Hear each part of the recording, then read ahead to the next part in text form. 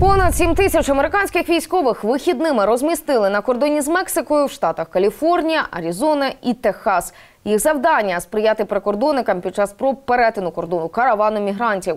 Наразі тут декілька тисяч нацгвардійців. Операція з протидії каравану отримала кодову назву Вірний Патріот. Розпорядження про залучення до операції армії дав президент США Дональд Трамп. Спілкуючись із журналістами, він сказав, що нелегальні мігранти, які під час спроб перетнути кордон США почнуть жбурляти каменів американських військових, будуть заарештовані на тривалий термін, але відкривати вогонь по них не будуть. 12 громадян Гондурасу з каравану мігрантів вже подали позов на Трампа і Міністерство внутрішньої безпеки США, звинувативши їх в порушенні американської конституції.